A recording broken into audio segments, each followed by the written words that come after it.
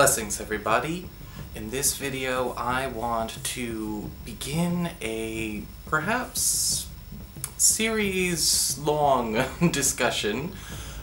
Not really countable at this point in time, but I want to open a discussion on the third eye. I wanted to make sure that I could do this topic a service. Alright, so this video is definitely going to be for the person who is just getting into the idea of the third eye, the idea of chakras, the idea of, you know, energy and spiritual practice, as well as for those who have been scouring the internet and authorships to get more information about this topic. And I'm gonna make it without making it, you know, culty, the, the culty way. So you don't have to worry about that. This is Scarlet Moon. This is just open, plain, shoot from the hip.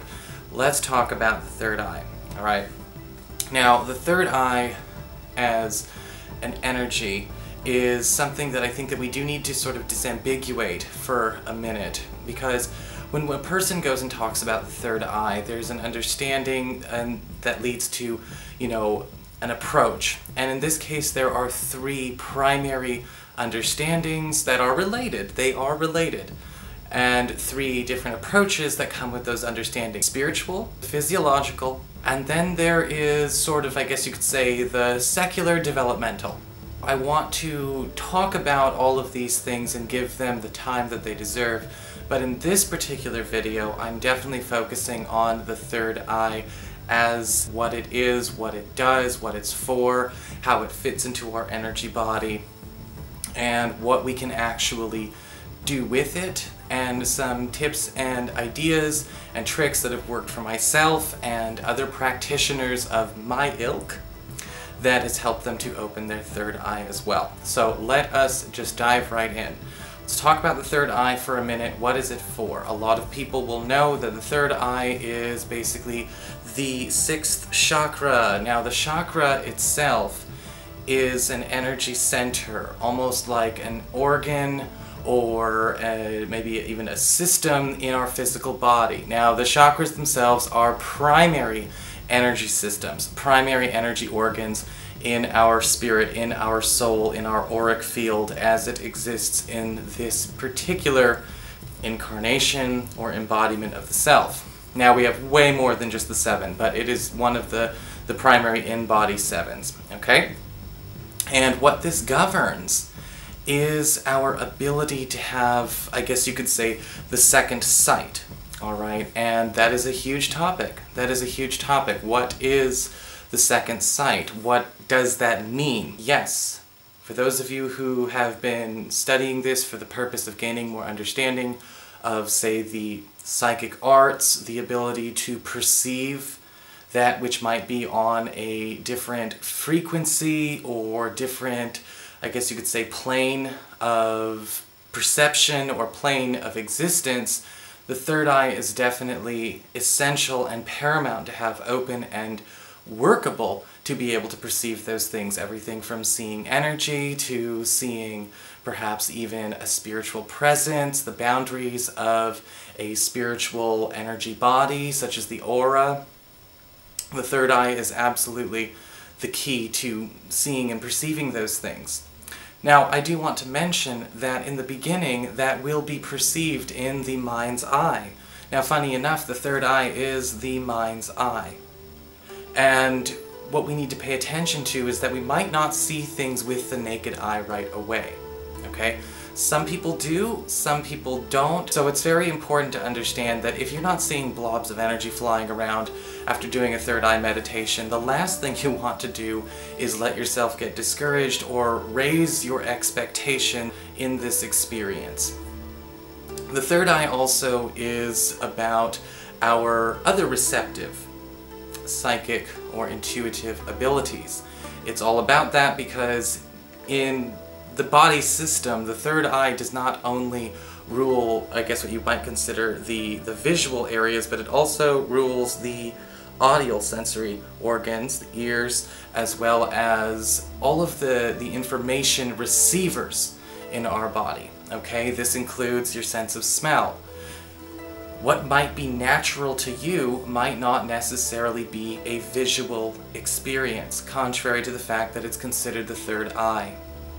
And this can change a lot of things. What if you find that you have a proclivity towards clairaudience, alright, which is the ability to hear and perceive through, I guess you could say, an enhanced sense of hearing, or perhaps even clairalience, alright, the ability to perceive through a, you know, a smell. You, maybe you've heard of mediums or shamans who can actually perceive maybe a spiritual change or a spiritual presence based on a certain scent in the air. This is also ruled by the third eye. One of the issues that I think has come up modern, you know, in modern times in the age of information is that the ego wants to create a standard. All right, it wants to streamline things with the best of intentions most of the time, but it can miss the point entirely. We don't necessarily know all of what our, you know, our natural gifts are. And so I'll talk a little bit more about that as we go on, but I want to cover the other areas. And the other area of the third eye has to do with what a lot of people are starting to call conscious awareness, the ability to understand, you know, to acquire knowledge. Yes, of course, that would be done through the psychic and spiritual faculties, but in the sense that this is more about conscious awareness of all things. And this is kind of getting more into the secular developmental understanding of it, where a person is able to sort of understand that everything is consciousness, that everything is interrelated in the, the, the bigger picture of it all. We are all but pieces of a bigger energetic puzzle you know, that is this reality, and understanding, you know, the way to perceive perhaps the nature of things. Alright, so this is getting into more of an enhanced capacity for intuition in a general sense, the acquisition of knowledge without necessarily having to go through that experience. You might be acquiring that knowledge through, you know, through hearsay. You might be actually learning how to understand and comprehend knowledge um, that comes to you from behind a person's words, you know, learning to actually perceive what's between the lines, perhaps even actually perceive the experience being conveyed to you in that conversation or in that exchange. Now, whether you develop and understand this awareness, this sense of intuition, this ability to acquire knowledge, or you discover these natural, spiritual, you know, I guess you could say paranormal or, or psychic abilities is something that must be nurtured over time. You know, if we hunt down the idea of a third eye to have some kind of mind-blowing, um, psychedelic experience, we are operating from an egoic mindset, a trap of salvation consciousness. Um, I'm going to open my third eye and suddenly everything's fine. I'm going to open my third eye and suddenly I'm, you know, I'm going to be able to, to do all these fantastic and crazy things. I'm going to be able to, you know, see spirits and I'm going to be able to, you know, have x-ray vision and see the truth in all things and it's kind of like the idea that enlightenment is the end goal. You know, no, enlightenment is kind of just, you know, a goal post that you pass on your journey. This third eye is very similar. And so when we actually open and activate the third eye, when we're working with our third eye, we're actually learning to cultivate and draw in more energy into ourselves that is actually meant to be there in the first place. Okay? And one of the things about the third eye that's really important to understand is that it's never meant to be a trip. You know, you're learning how to perceive and understand things that are going on whether you see them or not.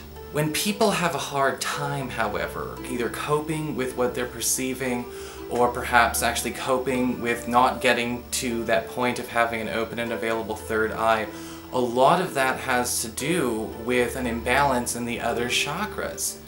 One of the things that we've got to understand is that in order to get all the chakras working properly, we must actually be focusing our energy and on healing these areas and bringing them to optimal strength, optimal vibration in order for everything to be working as a whole.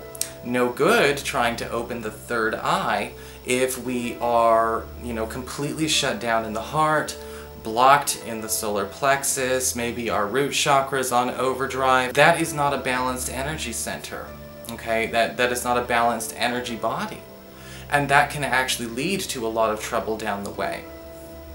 We need to be able to get a lot of those things under control, take some time, you know, healing those areas, anything that could be causing physical imbalances within the body, um, emotional or behavioral imbalances in the body. These things are all very important.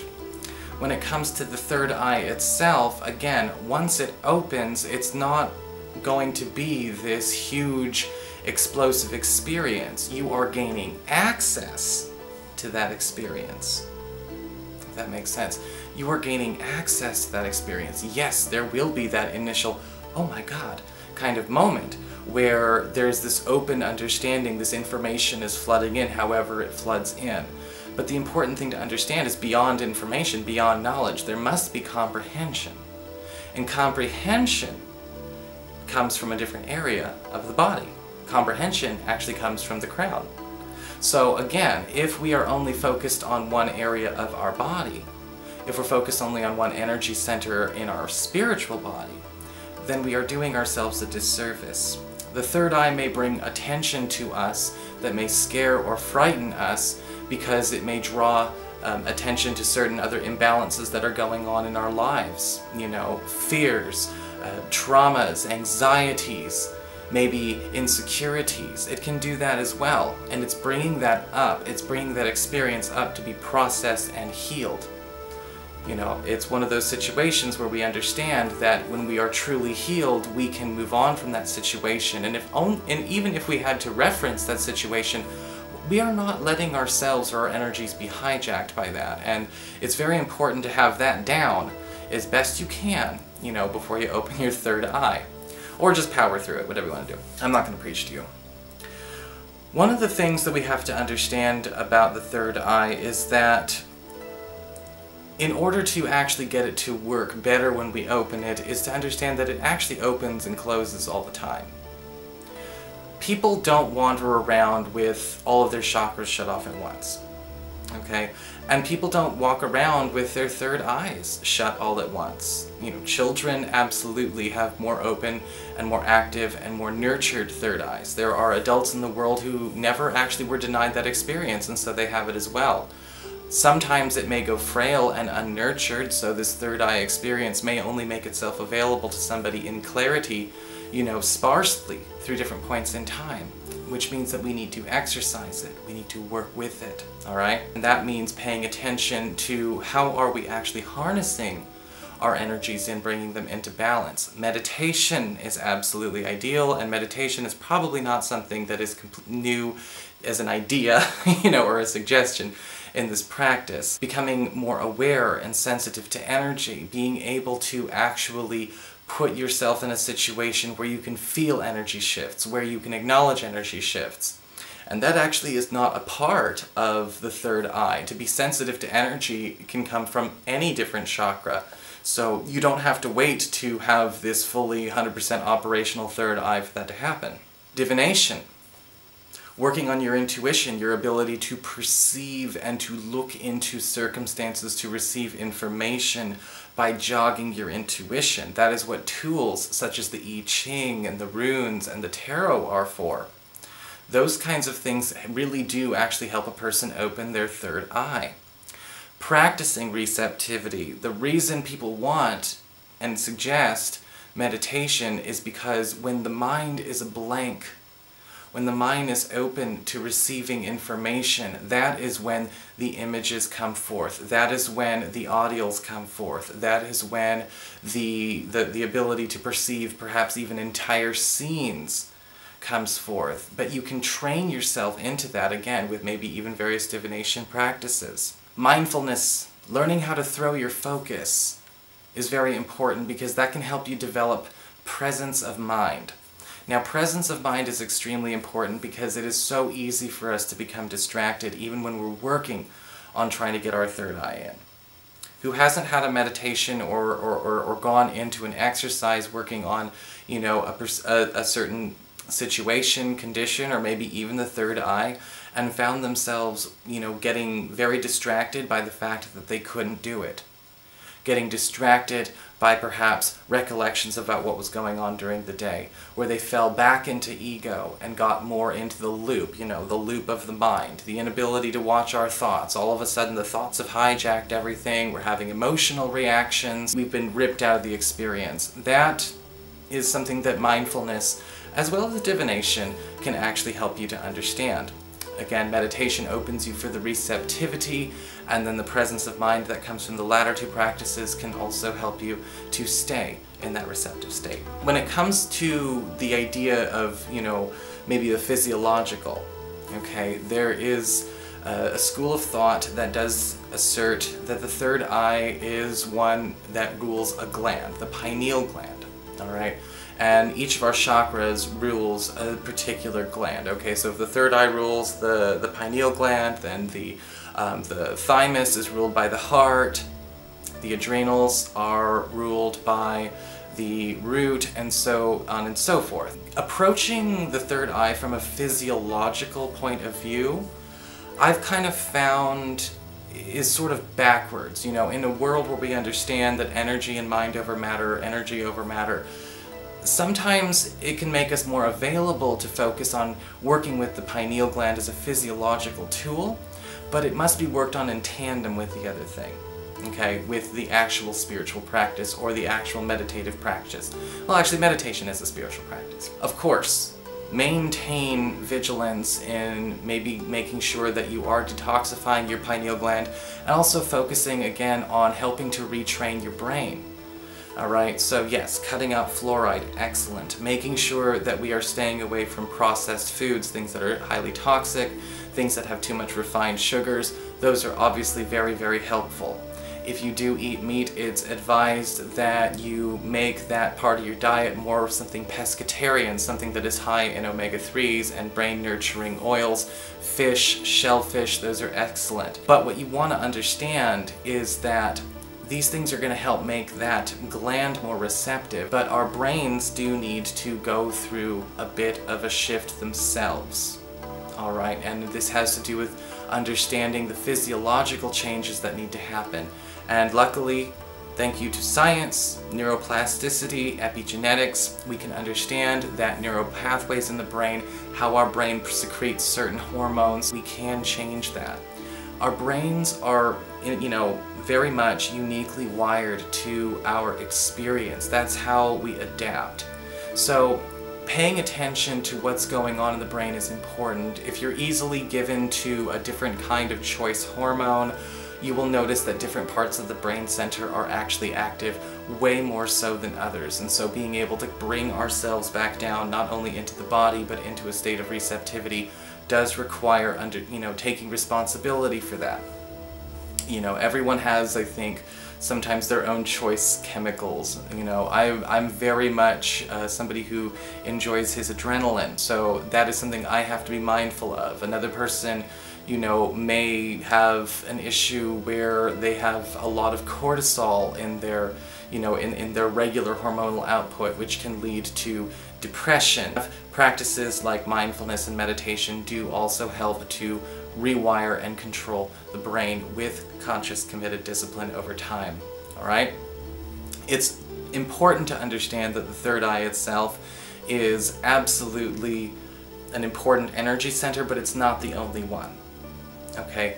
Always focus on making sure that everything in your body, everything in your energy field is working in harmony and in balance with one another. Yes, the third eye will come with its advantages, but those are merely byproducts of finally reaching a state of spiritual health. Don't forget the others and make sure that you have fun and this is a pleasurable experience for you. Alright, so this has been my introductory video on the third eye. I will come back with another video on tips and tricks and more techniques, how we can open the third eye and what we could be working on through that there. Alright? Thank you so much everybody. If you found this video helpful, please like, share, and subscribe. You know I appreciate it. And share it with anyone that you think might find this helpful or would just like to jot down a few extra ideas for this process. I'll talk to you later.